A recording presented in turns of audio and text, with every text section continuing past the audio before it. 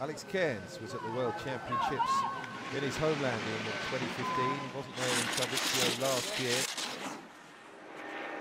First taste of the Winter Paralympic Games. Skier of the Year four years ago. An honour bestowed on him by the Canadian Association for Disabled Skiing. And it works up at the Whistler Ski Resort in British Columbia. He's born with spina bifida, Alex Cairns. And he's going to be six seconds, over six seconds, 6.15 away from Tyler Walker here. He goes into 15th place, a, a differential of 6.15 down to Tyler Walker's time. So needs to go better.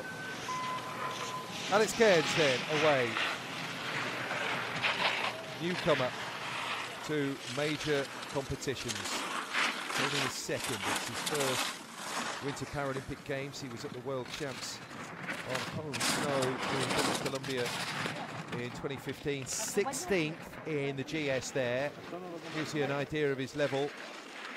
Athlete who was born with spina bifida. It works at the Whistler Resort, which hosted the Winter Games and the Paralympic Winter Games eight years ago.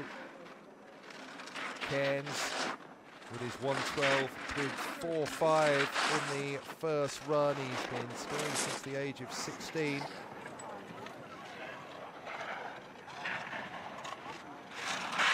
10 years on the slopes with Alex Cairns.